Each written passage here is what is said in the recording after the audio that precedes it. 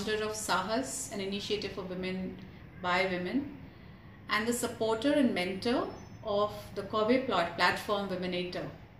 100 Faces of Womennovator is the platform which Kobe is creating today to showcase 100 brave, courageous, Sahasi women uh, of India. Women have had so many roles to play.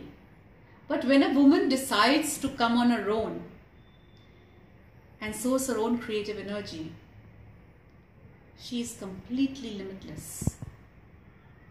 She shines a light not just on her own creation, but she shines it on a generation and more of women and men. And this is what this platform should be all about shining your own light and shining it for those who look up to you and whom you can inspire.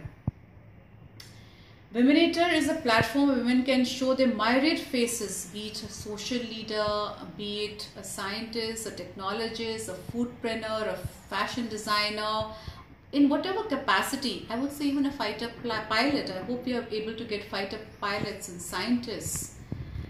As long as a woman is able to show that she is a trailblazer who has not just believed in herself, but has had the courage of conviction to step up, step out, and pull others along with her, then she is meant to be in this platform.